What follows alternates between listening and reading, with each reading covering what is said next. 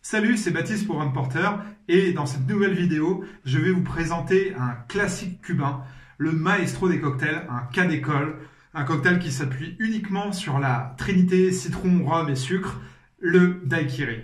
Alors, le daiquiri, son histoire est un peu floue, donc on va pas s'y, va pas s'y attarder.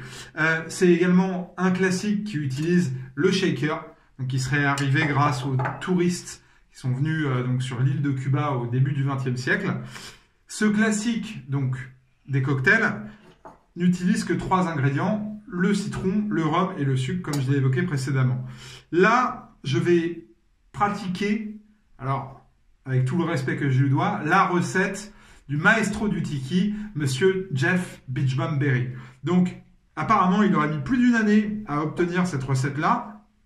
Donc, on va essayer de la réaliser euh, vraiment euh, de la meilleure façon qui soit. Il faut une cuillerée à café complète de sucre, bien bombé, voilà. Ensuite, il va vous falloir 3 centilitres de jus de citron vert.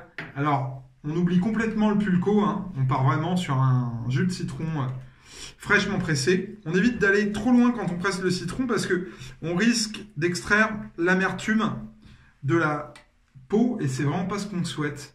Voilà. Là, je vérifie que je vais bien avoir mes 3 centilitres. Et voilà. Hop. Et ensuite, on va faire en sorte que le citron dissolve bien le sucre. Hop.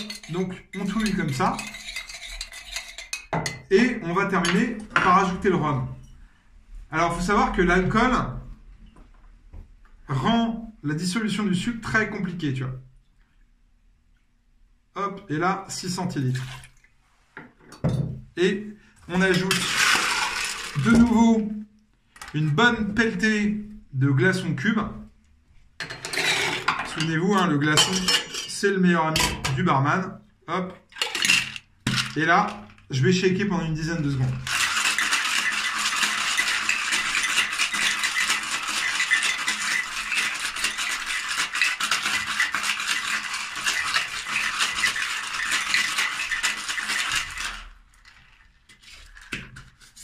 Comme ceci, le shaker est bien froid. On a atteint une température qui est inférieure à zéro, qui va être parfaite pour le daiquiri, donc qui est un cocktail qui se veut être de nouveau une sorte de citronnade euh, alcoolisé hein, et qui se doit être servi très frais. Donc là, je le sers sans double filtration. Le but, c'est de garder quelques cristaux de glace qui vont contribuer à vraiment la dilution du cocktail euh, après service. Et voilà, vous avez votre daiquiri. Bonne dégustation.